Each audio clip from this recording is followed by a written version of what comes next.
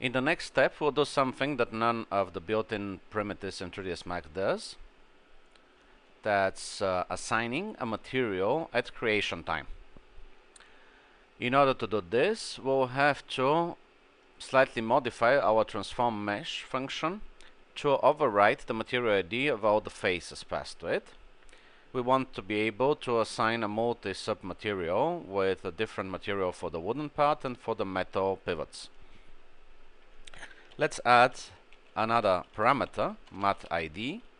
This parameter will be optional and will have the default value of 1. That means that when the function transform mesh is called only with the mesh and transformation matrix but no material ID parameter, it will assume that material ID is equal to 1.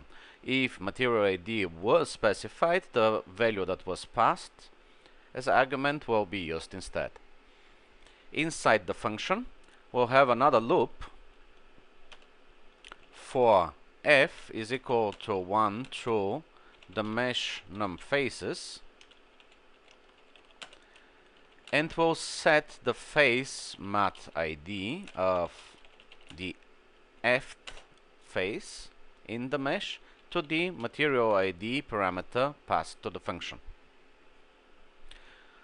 This is all that we had to change here. Now we don't even have to change the bottom box and the side box and the front box whenever they are calling the transform mesh function since we want material ID 1 to be assigned to all their faces and not specifying the material ID here will automatically implicitly use 1 as the value. What we'll have to change though is the initial value of the mesh was taken straight from the TriMesh value of the bottom box without passing it through the transform mesh function, which means that the bottom mesh would have multiple IDs, the defaults of a box primitive, as you probably know, a box primitive has six material IDs pre-assigned to its all uh, sides, to front, back, left, right, top and bottom. So in order to get the mesh variable initialized in the beginning to a TriMesh value that contains material ID 1 on all the faces, we'll have to call the transform mesh function with the bottom box mesh, just like we did for the side and front and so on. And we use the TM before it was changed because we don't want any translations or rotations or scaling. This means that the bottom box will now have material D1 just like the sides and the front and the lid because it will be passed to the transform mesh function.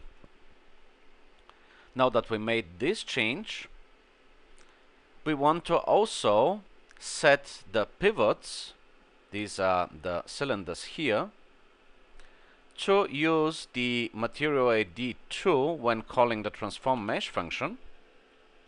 So I'll say mat ID will be 2 for the cylinder. And when passing the second cylinder here, we'll also add material ID 2. Another thing that we'll have to do is make sure that our boxes and cylinders have valid mapping coordinates. So if we assign a texture to the material, that texture would be able to display and render. We'll set the map coords parameter, that's the construction parameter of a box and the cylinder, to true, which means that our bottom side, front, lid box and also the cylinder will generate valid UV coordinates every time. All that is left now is to actually assign the material to the object. We will add another handler. Right now we have the handler on build mesh do and we have the tool create. We're going to create a handler which is called attached to node. This handler will be called every time where the base object that we created, the lid box, is actually attached to a scene node to be displayed in the scene as a separate object. This happens when we create the object using the create tab button, when we create an object using MaxScript, or when we copy an existing object as a new object in the scene. So the first thing that we'll do is check if the argument that is passed to this handler, which is the node that the plugin was attached to, has a valid material. And if it doesn't, that means if the material property is equal to undefined, only in those cases we will create and assign a new material. If the node that we're attaching to already has a material. For example, in the case when we are copying a box object, the copy could also have uh, previously assigned material because uh, we already uh, created it uh, using the same code. In that case, we don't want a new material to be created and we want to reuse the existing one if uh, for whatever reason a different material, not the automatically created one, was already assigned to a box, we also don't want to overwrite that one. We'll create a variable, the multimat, and we'll create a multi-material with the name lidbox and a number of submaterials equal to 2. We'll also create a wood map. This will be a bitmap texture which will use the file name you probably recognize this uh, GIF file. It has been in 3ds Max since the beginning, probably even in 3D Studio DOS. It's a typical wooden texture and we're not specifying any path because uh, this texture is installed automatically when 3ds Max is deployed and uh, it is placed in a map path so it should be automatically resolved when we mention just the file name without a path. Now let's assign to the first slot of the multi-material a standard material with a diffuse color set to 200, 150 and a diffuse map set to the wood map that we just created. And the second multi-material also a standard but this one will be gray 200 200 200 and no diffuse map. Now we can assign the material that we just created to the material property of the node that the plugin was attached to. And to make it even more interesting we'll use the show texture map method.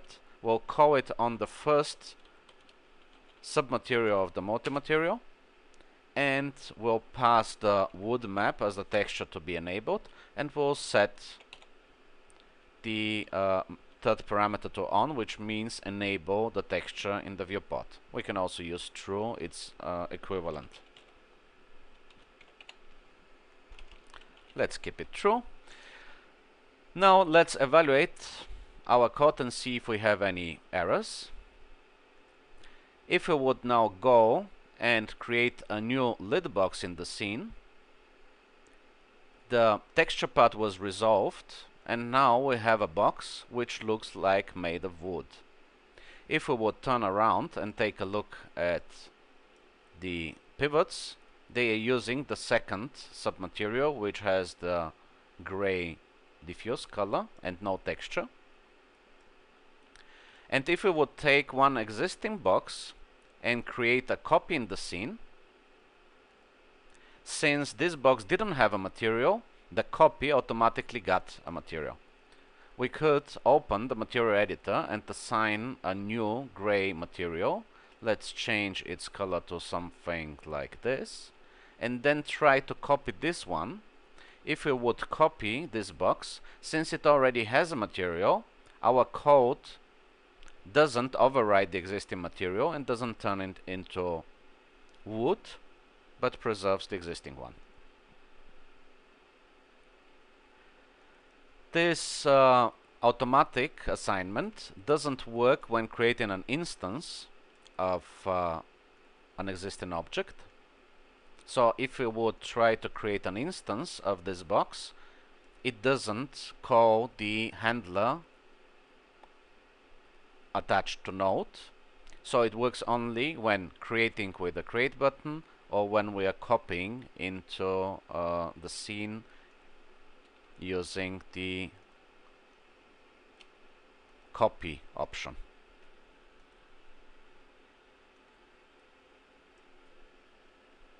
At this point we can save our script as step 6.